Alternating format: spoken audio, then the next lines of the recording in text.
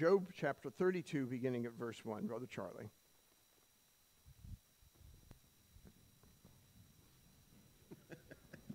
Good morning.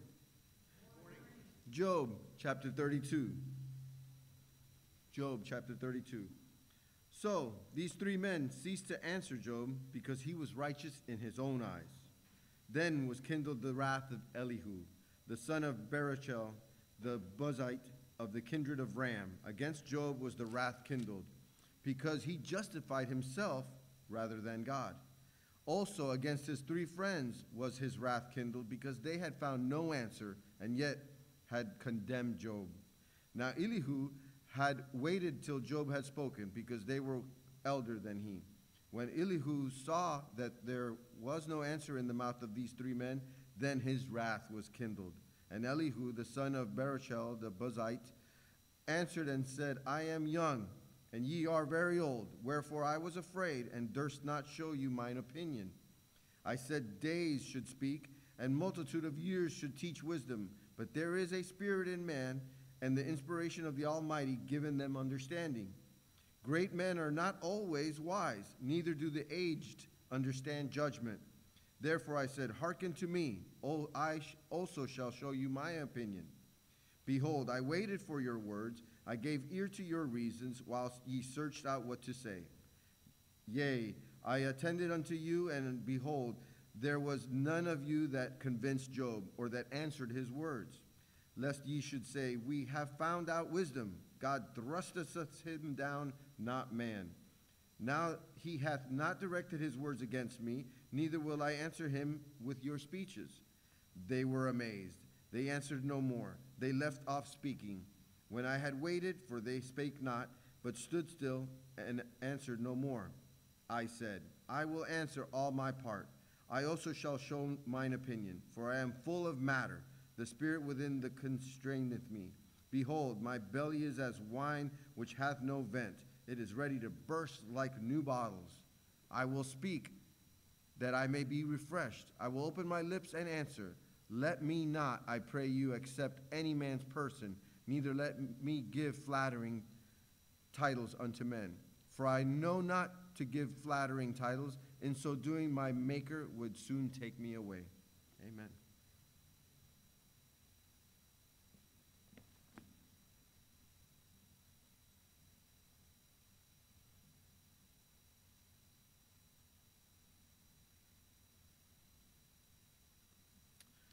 Before we enter into the uh, Word of God this morning, let's take this time to ask God's blessing on it and that He would be instrumental through His Holy Spirit to enlighten our hearts to receive His Scriptures. Thank you, Father, that we have the Word of God today. Thank you that you brought us all here, and whatever it is that you have in store for us may not even be part of the sermon itself, but yet in very uh, special ways we know that you're able to use the scripture and the, the stories and the individuals and things that are said in intentional ways on your part to make uh, an, an impact upon a life. So, Lord, we commit the sermon to you. Thank you for the gift of hearing, for language, for words, and all the things that make it possible for us now today to be able to preach a sermon and receive it as the word from God Himself. In Jesus' name we pray. Amen. So when we take and we look at this passage of Scripture, we're at a point in uh, the, of the discourse or the poem, as some have called it, whereby there is a somewhat of a conclusion reached. And the conclusion is we don't have a conclusion. And the reason for that is that it, it's one of those situations that, um, let me go back one slide here. Oh, I'm sorry.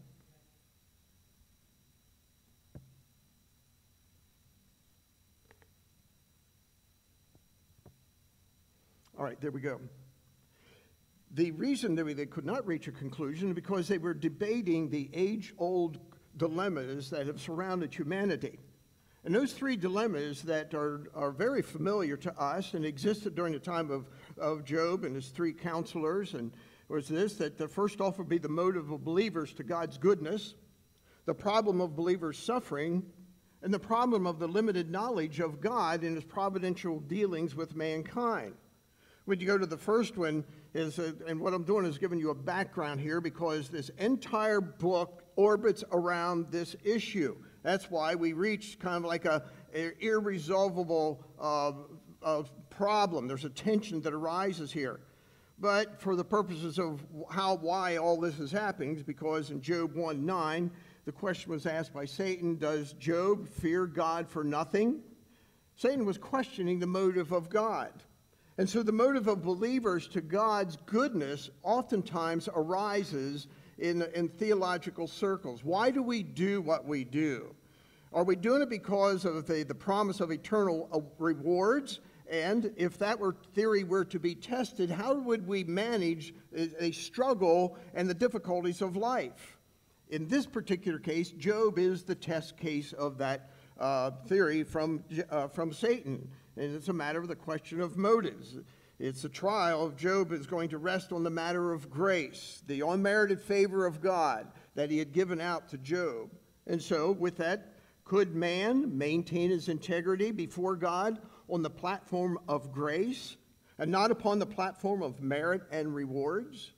And that's a, that's a question that oftentimes we, we have to ask ourselves. This was the issue uh, with Job, and so he is the test case. And Satan is using him to, whether, to prove or disprove that God said, You test him and he'll stay with me because he's not doing this because of the things that I've given to him. He's a man of integrity. Satan says, I have a better way. I think he's doing this because you have blessed him. Secondly, the other uh, problem that uh, we all struggle with, and that is the problem of believers suffering. Why do good people happen? Why do evil things happen to God's people? How can a good God allow suffering? And why do the righteous suffer? You, you can list the questions, they go on and on. And, the, and here again, this is uh, the issue that Job is trying to resolve and explain from his perspective, his position, and then his counselors also are arguing against him. They have their theories. But in the end, when we get to the end of chapter 31, and we read these words, and, uh, or excuse me, yeah, chapter 31 at the very end, let the thistles grow instead of wheat and the cockle instead of barley. The words of Job are ended. That's the end of the story. And, and so we're left with another unresolved dilemma. The third dilemma in a life that this story orbits around is the problem of limited knowledge about God's providence. How do we explain this? Job tried, his counselors tried, and kind of like as a, a little side thought here, you have this young man that is sitting off to the side listening to all of these theological debates and this discussion. But some of the explanations that have been given over the years are about as, as, uh, uh, as many as there are writers that have something to say about the subject. So there's, there's no lack of information on how, why God does what he does. Some are more definitive than others, some are simple, some are complex. But in the end, and by the end of the day, nobody seems to have the absolute answer. Why? Because you're dealing with finite minds trying to understand an infinite God.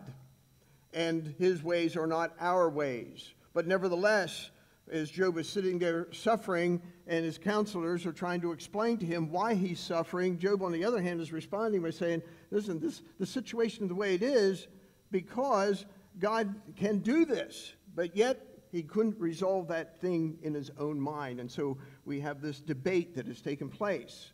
And by the time we get to verse 30, uh, chapter 32 and verse 1, these men ceased to answer Job because he was righteous in his own eyes. They, they stopped. They, they, they, there was nothing more that they could say. They could not convince Job of, of their theories concerning God and suffering. And Job had uttered, uh, uttered his last words uh, according to his way of thinking. So, what do we have? We have a stalemate, we have a gridlock. And if for the writer of uh, the book of Job were to just end it there, we would be left with no solution to this age old question of suffering and evil.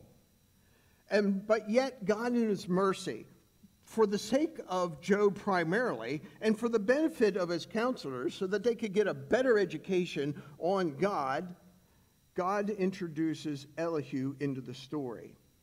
And so we have the context of the book. There is the drama that is taking place, that took place when there was a righteous man that hated, that loved uh, God and hated evil, and then we have uh, Satan and uh, his meeting with God. Job is plagued. Job is uh, desperate. His wife gives the impression that she is going to abandon him. And then after 14 days, his friends arise, probably business associates from other parts of the country, and they endeavor to try to explain to Job why all this is taking place. And they were moralists. They had small minds about God. They basically said this You are the way you are because apparently you have sinned. God judges sinners, and he does it in his own way of doing things. Job says, Yeah, people do are, judged by, because of sin. But then there are evil people that are never judged by sin. So what are you going to do about that? And so this debate goes on and on for approximately 30 chapters. And we're, we're now at the situation with that we have this tension, and with every story, you have a drama, and a good writer creates a tension, and, and, and you're waiting for a resolution. How can we end it? How can we resolve uh, the characters some way or uh, somehow that we leave satisfied and settled that the story is over. And the scriptures are written much in that same way, and such is the case here. Elihu is brought in as the one that is going to now bring a resolution to this tension between the counselors of Job and Job himself. He's going to clear this theological air. He's going to help remove the fog that was from around their minds concerning how God works with people, whether they're righteous or sinners. And he's going to be of a great asset with words of grace and wisdom on behalf of Job. So, with all of that in the background and this dilemma of sin and suffering, we, we now bring into the scene Elihu, and he occupies approximately uh, four chapters in the balance of the book. But I want you to notice something that we gain a little bit of insight about Elihu and what did what he had to say was it really worthwhile? Did he say anything different than the previous three friends? So you go to the end of the book chapter 42 when god now is going to speak with job and we begin at verse 7 and these two verses say give us uh, something interesting of god's thoughts to the three friends in elihu. Notice what and it was so that after the Lord had spoken these words unto Job, the Lord said unto Eliphaz the Temanite, My wrath is kindled against thee and against his two friends, for they have not spoken of me the thing that is right, as my servant Job has. Therefore, this is what he tells them to do, and these are the things that they were supposed to do, and that was the sacrifice. But I want you to notice Elihu's name is not mentioned. God's wrath is not against Elihu. And the, the, the difference is to this the thing that is right. What these men said to Job in verse 2 their two friends, you and your two friends, have not spoken of me the thing that is right. And I want you to also notice that God's anger was kindled against these three men. That sort of sets the context, it sets the stage. Because now, when Elihu speaks, one of the primary characteristics of Elihu is the fact that his anger his wrath is kindled against these three men. So God and Elihu have something in common. Both of them are, shall we say, extremely frustrated, but better yet, they are angry because neither one of them, the three men, nor Job himself, spoke that which was right about God. That is the part that makes all the difference in the world. The men did not have a high view of God. What they had to say about God was made of their own contrivance. They, they made things that would fit for their argument, but were not necessarily drawing down from their uh, form of inspiration and knowledge that they had of God Himself. Elihu speaks differently. He enters into the scene and he's going to speak the words that elevate God to a higher platform. And his he comes in as the fourth counselor. And I want you to notice something as we begin to, on this journey. Elihu has a different counseling style because of his high view of God than his three friends would ever have. And so they were being re educated. Job is being encouraged by what he has to say. So the men could not have convinced Job. There was nothing that they could do that would explain the situation. And Job himself could not convince them of his position on this matter of sin and suffering, the righteousness of God, living by God's grace, and still having true motives in the, the whole thing. So as we move forward, we break it down into two very simple parts. But, and I don't want to oversimplify it. I want you to capture the mind that we're listening to the words of Elihu. Elihu has something to say.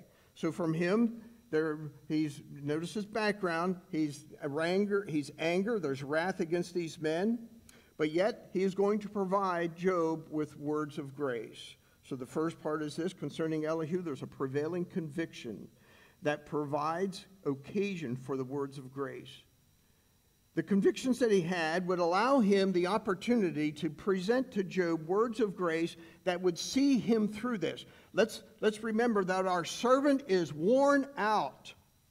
He's lost much of his family, all of his real estate, all of his stock holdings, all of his farming industry. Now his health is ruined.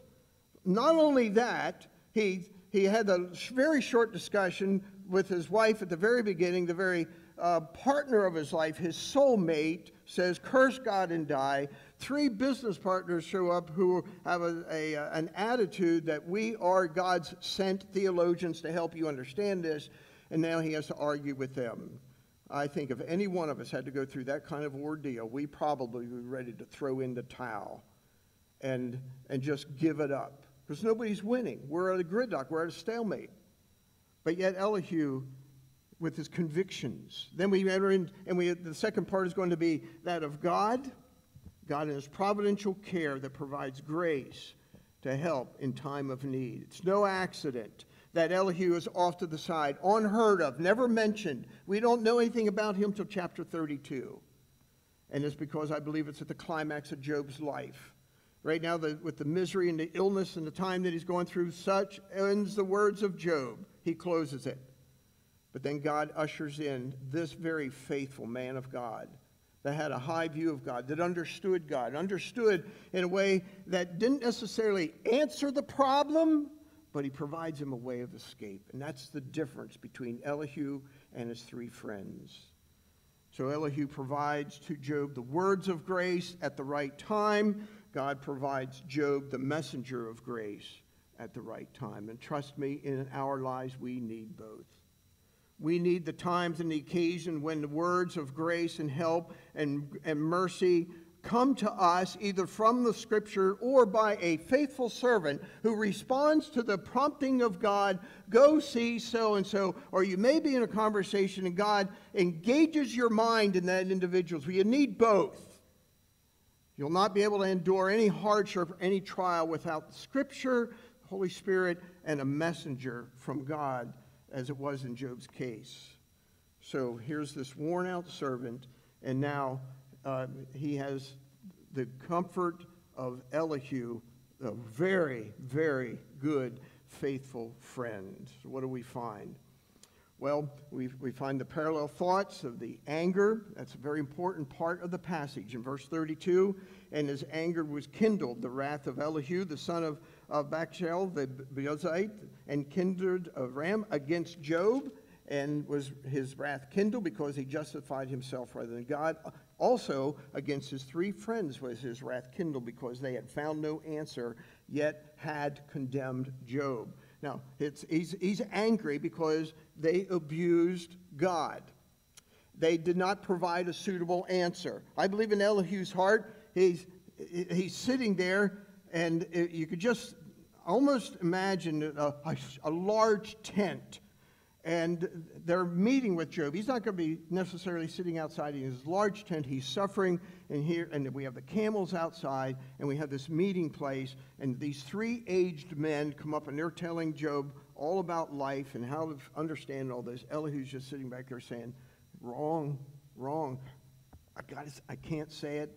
But yet What's bothering him isn't the fact that there was an age difference that would prohibit him from speaking. What really gets to him is the fact that they misrepresented Job. They did not provide the right answer. It's not that their answer was just anything. They failed to provide the right answer. And Elihu, being a man that had a high view and understanding of who God is, he could see that this is not being true to Jehovah. Even in that time in which we lived, which was probably times either before Abraham or during the time of Abraham, is where this account arises out of the scripture. That's his, its historical setting. So the, Elihu was a man of convictions. There were three convictions that he had. And these convictions were powerful. These convictions would restrain his anger. And his anger is because of a misrepresentation of the Most High God. And it failed to answer Job. Job needed Most High God answers, and they failed to do it. And these convictions are three a binding respect for his elders, the, the wisdom of listening before you speak, and true wisdom comes from God and not from man. Listen to the words that he gives to us. When you look at the first one, the binding respect for his elders in verses 4 to 6. Now Elihu waited until Job had spoken because they were elder than he. When Elihu saw that there was no answer in the mouth of these three men, his wrath was kindled. And Elihu, the son of Barachel, the Buzite, answered and said, I am young and afraid. You are very old. Wherefore I was afraid and dare not show you my opinion. He understood from his traditional oral teaching from parents and grandparents and cultural background that was there. If you're young and you're sitting with a group of aged men, you keep your lips zipped. No matter what you think you have to say, there's a time and a place to say it, but the first thing is you demonstrate respect for your elders, a long lost art. And it's something that needs to be revisited. It is something that can help temper and control passions in any one of us, and especially in the younger generation. Everybody's got to blog it, blurb it, spit it out, speak our mind, and say what we think, contrary even to these days back in the days of Abraham. But what it did for Elihu, it reserved to the time, the proper time, the right occasion, that because his anger was restrained by a conviction that says, wait until you are given the opportunity, then speak. Then he could speak accurately. He could speak carefully. He could speak to Job as a friend and could see the hurt and the pain that he was in rather than venting, as he describes himself in verse uh, 19 My belly is as wine which has no vent and ready to burst like new bottles. That's how much he had within him. He was constrained to speak, but a conviction that there are certain manners that must be upheld and maintained, and he did that. His second conviction was the fact that there's wisdom in the listening before you speak. There's wisdom in listening. Proverbs 18:13 tells us this that he that answers a matter before he hears it, it is folly and shame unto him. Short version, don't be a know-it-all. George Washington, in his book of mannerisms, that is in a little thin book that you can get online from wallbuilders.com. I think there are like 35 or 40 uh, uh, quotes or sayings by George Washington on manners. And one of, the, uh, one of them is most interesting in the, in the times in which we live, uh, that we have the answer because we got it off of Google, Wikipedia, or some other means of, of the information highway. Is this when people are sick and they're in the hospital, don't be their doctor. It's just really quick. Now, that's rather interesting because we have a cure for everything. We can go to home care, we can go to health care, we can go to herbal care, we can go to herbal life, we can go to natural herbs and oils. There's all kinds of things. We have the answer. And really, George Washington in his day said, listen, those kind of things, you keep that to yourself. You're not the doctor. They are men that were trained. He mentions other things, such as uh, being, being respectful when somebody else is speaking. You, you, you don't get very close to them. You keep a distance so you don't spit in their face. That's it. And then uh, taking your shoes off and going into a house. Uh, proper names of identification. So, so, Washington had these things in his book of mannerism, and here it is with Elihu. He says, listen, uh, I'm not going to answer until I hear the whole story. I'd imagine his chain was jerked right at the very beginning when they started to skew the testimony of God. And with his understanding of, of God, he, he had something to say about it. But instead, he's just taking mental notes and he's holding it. Why? Because a wise man hears the whole story before he gives an answer. He was not going to interrupt. He could not interrupt because he understood the, the platform of elders and younger. Youngers do not address down the elders, although the opportunity was given to him and he took advantage of it. So it's not like you never do it. He waited until the proper time. He listened to their entire report.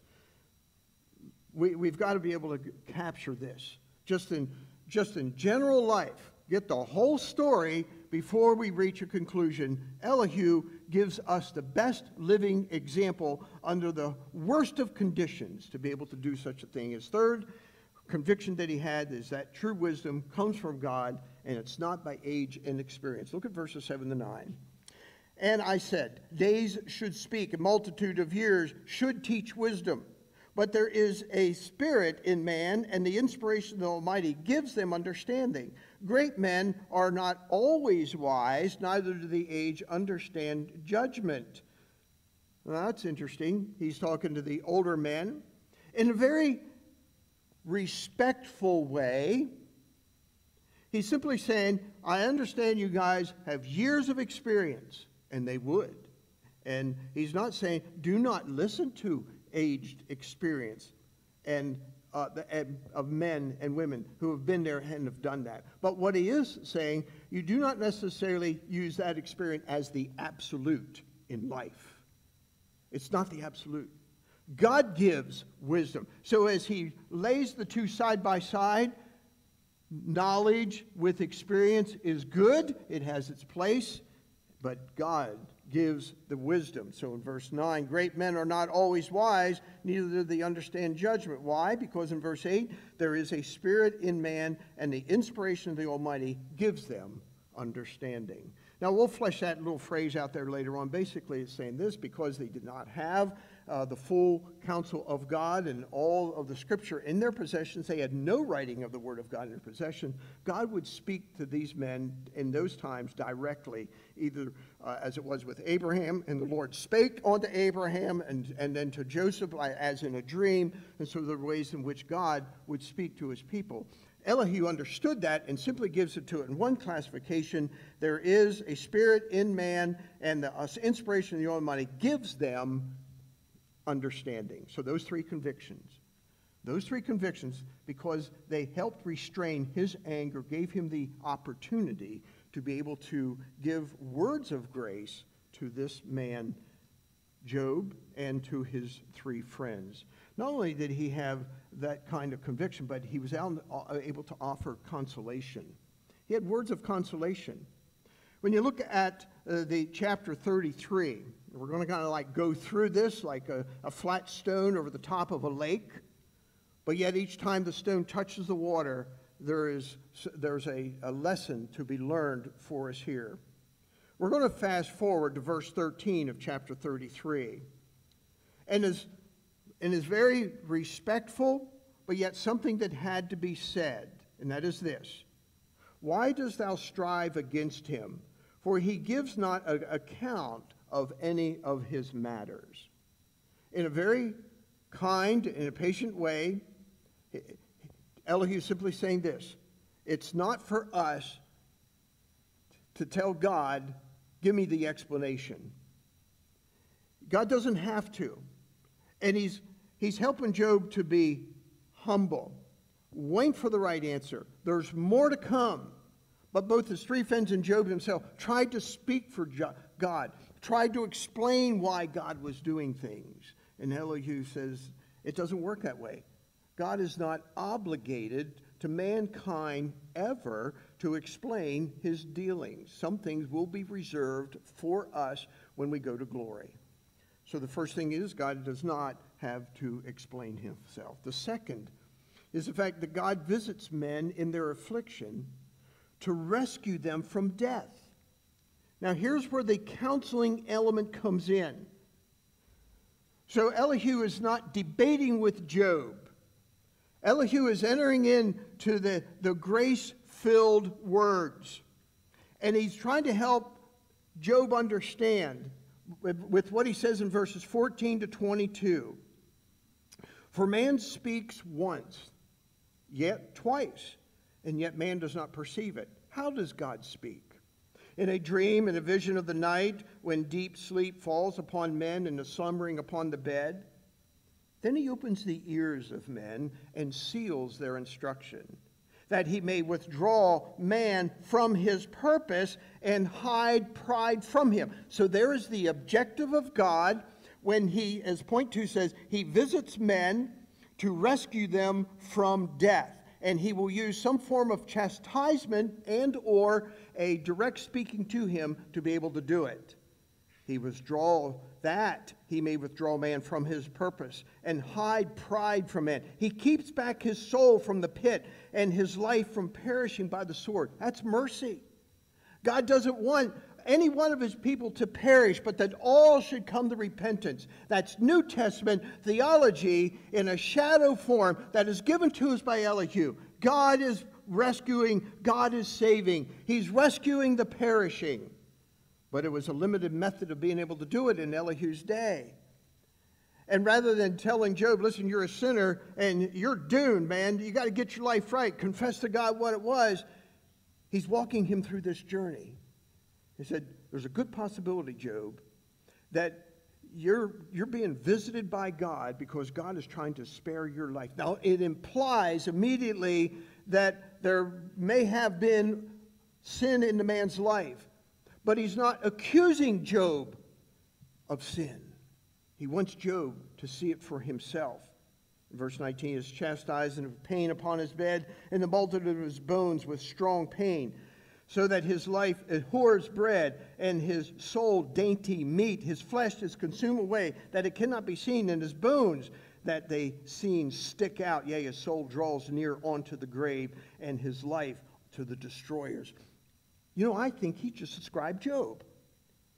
He's sitting there looking at him and he says, Your bones are sticking out that never showed before. Job said himself, I, hate, I, I despise good food. I cannot eat. I am hungered. I am near the brink of death. And there's this suffering. I abhor bread. All the things that Elihu pointed out, Job had already said. So Elihu, having been a patient man with gathering the whole story before he speaks, so he's not a fool, takes into consideration. Now, here is biblical counseling. You gather data. And Elihu's gathering the data from Job. And he hears, You don't like to eat? you're not feeling well, your flesh is rotting. Let me bring this into perspective. There are times when God visits men because he wants to prevent them from the grave, from dying, from the final outcome of chastisement.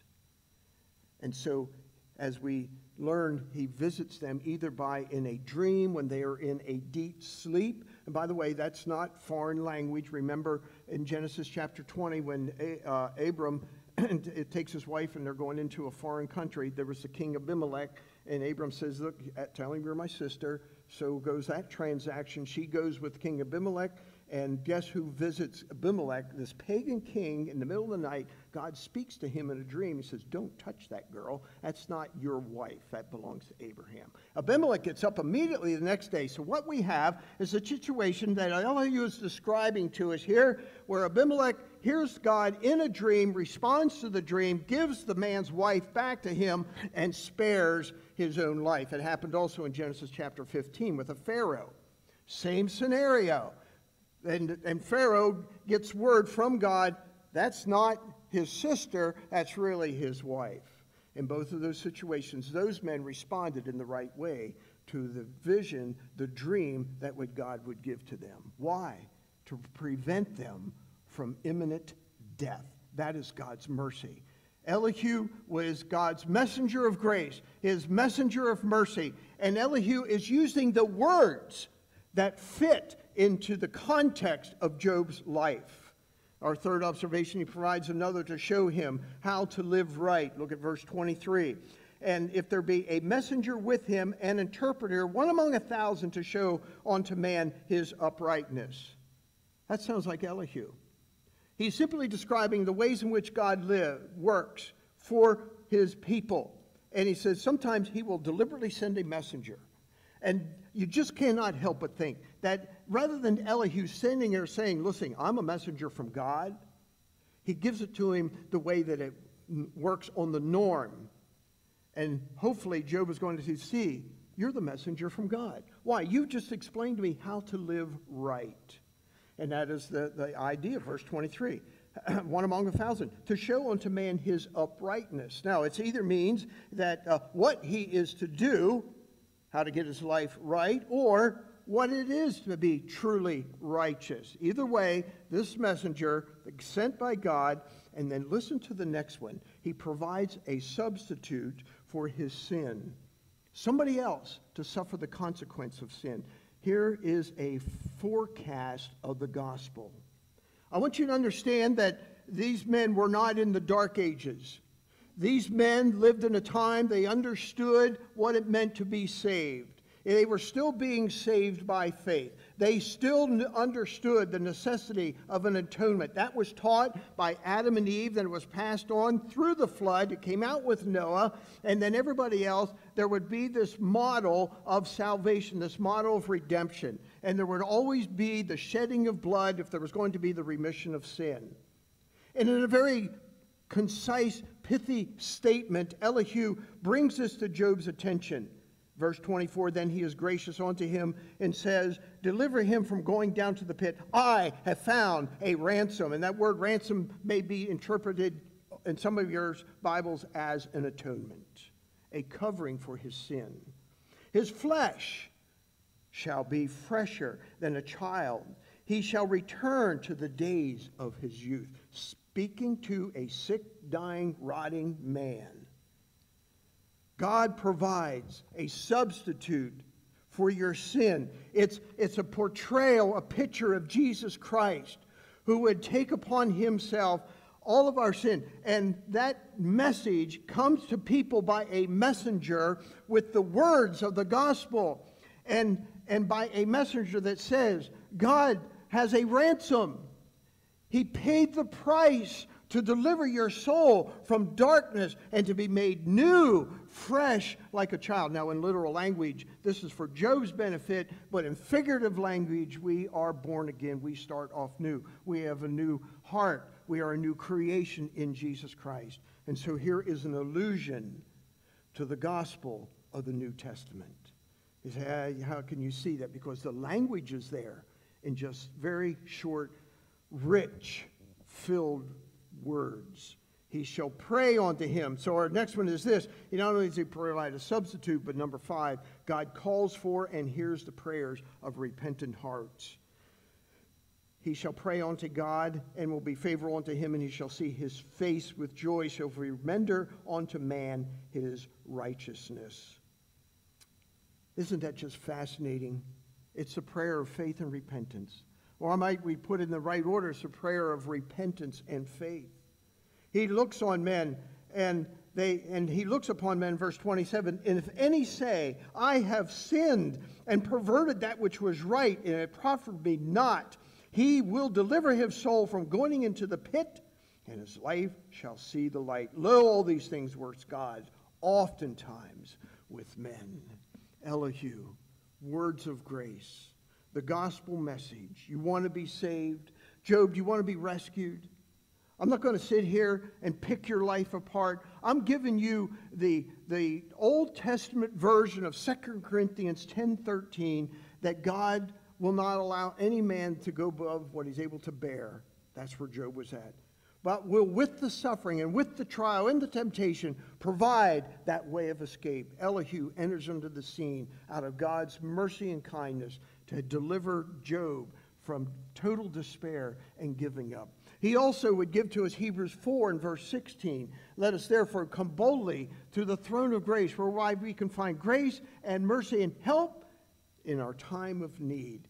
Why do we go there? Because we have the new and living way provided for us through the blood of Jesus Christ. Both of those New Testament passages apply to this counseling setting with Elihu and Job words filled with mercy, truth, an invitation for repentance and to call upon the name of the Lord and to be rescued. And I will deliver him.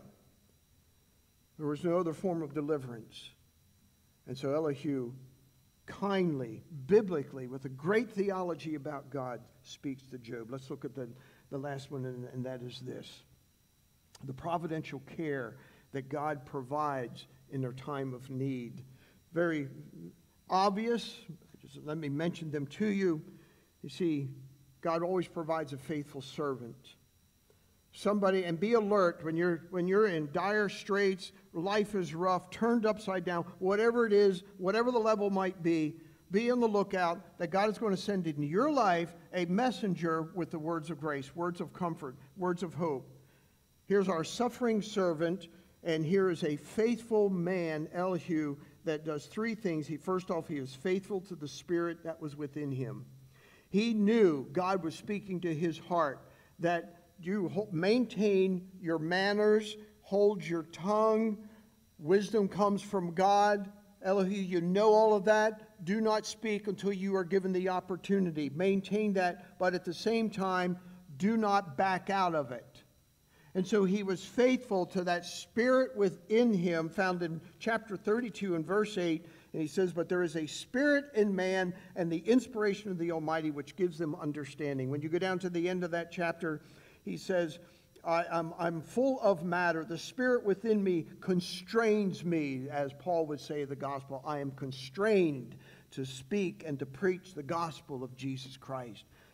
Moving within him was the necessity to give hope and help to an individual in time of need.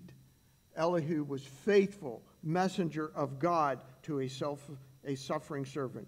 God provides that kind of care, the providential care that provides grace in our time of need. Secondly, he was faithful in the use of divine revelation from God. None of this just came off the top of his head. You can verify all of Elihu's words somewhere else in the Bible, a lot of it found in the New Testament. But when Elihu spoke, he spoke and related to what he had learned from God whether it be from visions or from dreams or what he was taught by his parents, but he maintained the integrity of the Word of God. He did not change it to fit a cultural setting or a man's life or for his own purposes. And so he is faithful to the use of revelation from God. A servant of God with words of grace and comfort must be faithful to the use of the Scriptures. Hold on to that word and speak the truth in love. And if you're not sure how that works, read the story again. Third, he is faithful in providing the way of escape. And that's what these last several verses were all about. He looks upon men, if any say, I have sinned. He sends a messenger, and the messenger says, Here's your way out. God is going to give you new flesh, new bones. You'll be a restored man. And when we read the balance of the book in the closing chapters, everything was restored to Job fourfold. Because Elihu was faithful, and he was faithful in providing the way of escape that is exactly what Job needed. Give you three thoughts to take home. I realize you got a lot to take home, but if we want to try and summarize it with three things that probably will hang on, you can hang your hat on this. Number one, God honors and will use people of humble spirits and biblical manners. Why do I say biblical manners? The whole story begins with a man who honored mannerism, respect for the elders. Don't speak till you got the whole story. Wisdom comes from God. Those are three very critical, essential uh, characteristics that's to be inculcated into our thinking today. And God will use it. And he had a humble spirit. He said, You are old, I am young, I dare not speak. He took the second step down. He waited for the opportunity. And when he did speak, he didn't speak. He didn't speak to impress any of those men. Remember the closing words of chapter 32? I'm not going to speak and give anybody a title. I will speak that which is on my heart. And we know what he spoke because he was faithful to that divine inspiration. Secondly, when we endure affliction, listen to the words of grace from another believer. Sometimes we receive the word and we kind of like it just water off of a duck's back or a Labrador retriever. We hear it, but we don't hear it. We don't receive it. So Job was in a position to be able to receive. Elihu was the man sent. So when we are enduring affliction, wait for, look for, listen to an individual that very well could be sent from God. He has biblical answers and he provides words of hope or the way of escape. Thirdly, to be able to be ready to answer, to be there should God call you to be that servant of grace. So there's two things. Know the Word of God so that you know what words to say, and then also be ready. God could be asking you to be the minister of mercy to an individual that needs it. And you may not even know it. We, we're, we're not a transparent people in the 21st century. Not at all.